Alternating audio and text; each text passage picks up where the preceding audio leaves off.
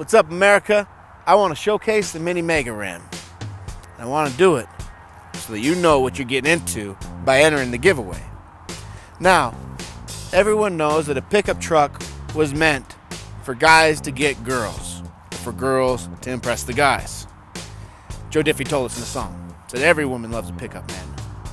But the Eco Diesel coming to you straight off the block makes it look like your grandpa's coming to pick you up from school.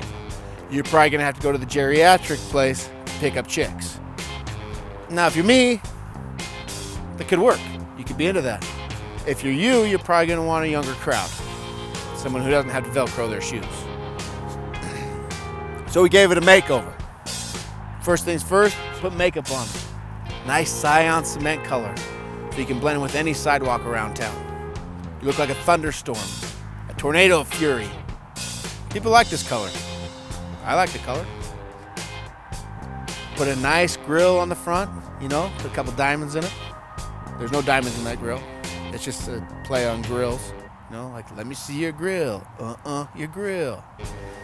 Race mesh truck gave us that. Looks good.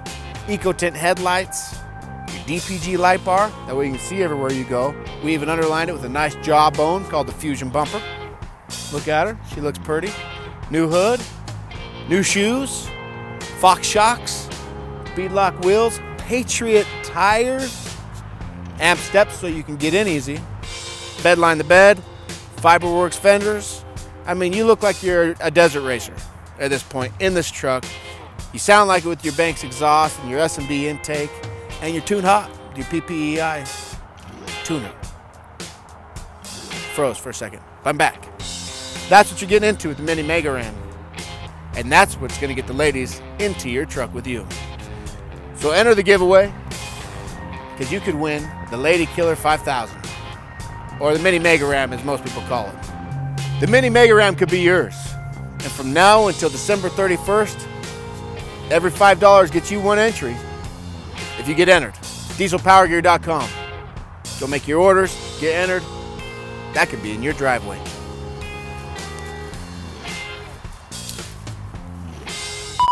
I just going off because Heavy D paints everything gray and I think it's a boring color. 50 Shades of Boring. If you have a man bun and you want to be a man, use a zip tie. I can't. so we gave it Fox Shocks because foxes are freaking fast. Fox. And they got cushy feet when they run through the forest. Just cushy, cushy, cushy.